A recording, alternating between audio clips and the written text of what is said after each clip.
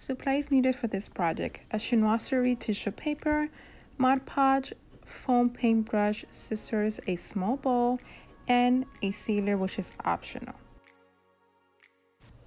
There are so many options of chinoiserie paper napkins. I chose this one from Amazon. I will leave the link down below.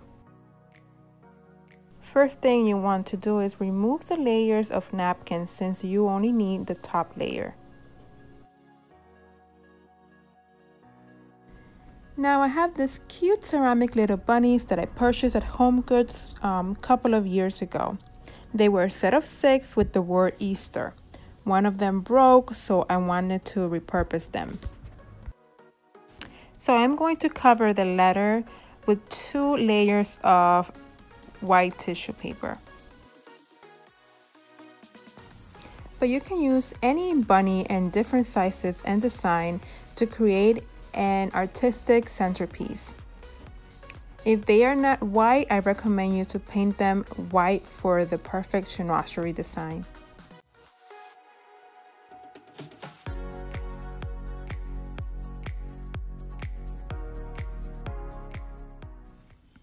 Now we are going to decide which motif we are going to apply first. And then work our way around our little bunny.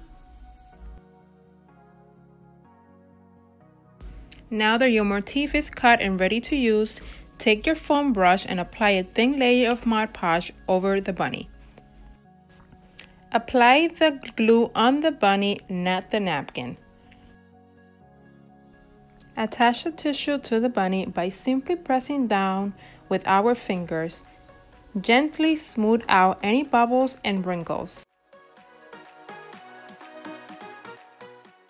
You can add individual motifs to reveal more of the white or you can cover completely your bunny with your tissue paper. If you are working with a bigger bunny, let the first layer dry completely before you add another piece of paper. Also, I make sure that my fingers are clean without any glue residue when holding the bunny. Made a mistake? Don't worry, just use more glue and overlap it with another napkin. If you still see wrinkles, it's okay. Once it's dry, the napkin will adhere to your item and it won't be noticeable. Lastly, you can use a spray sealer, but I didn't have at the moment, so I added another layer of Mod Podge to the final product and let dry. And voila, your cute decoupage bunnies are complete. These turned out so beautiful. Look at all those details. This was my first time doing this and it was so relaxing. Perfect addition to my Easter tablescape. Please stay tuned for that upcoming video.